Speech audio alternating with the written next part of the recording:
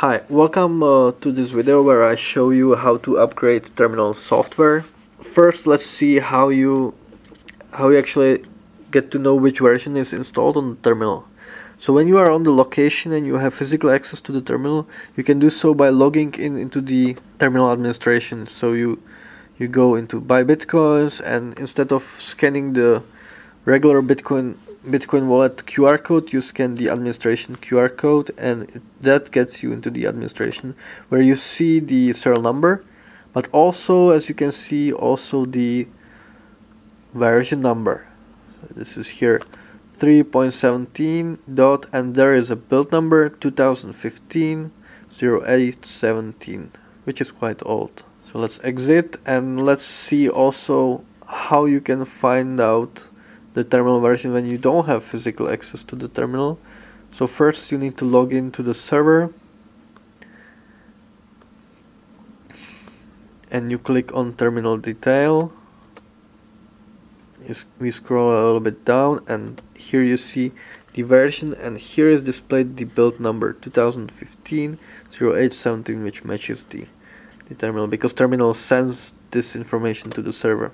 Okay, so next step is to find out what is the best new version available to the customers. So this can be found out on the generalbytes.com slash support in the changelog. You can see that the latest version is 2016 11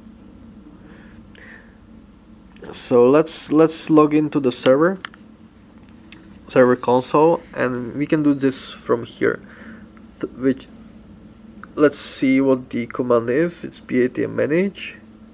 And let's let's see all of the all of the parameters first. So it's this one. Batm manage upgrade terminal build number serial number are the parameters. So we will type batm manage upgrade terminal.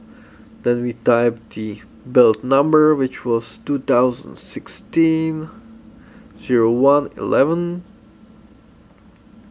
and the serial number of the ATM which we want to send the upgrade to.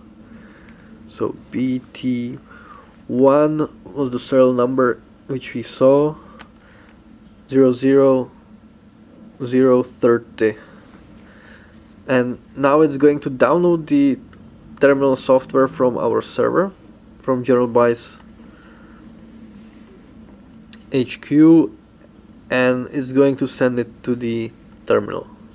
So download it now and send upgrade command to the terminal. And terminal should should just uh, should register this, receive the command and reboot the application. And now it's started with the new version and when we log in to the to the administration we, we should see their new version let's click on buy bitcoins we scan the admin QR code and we see it's upgraded to the latest version. Great. Thank you for watching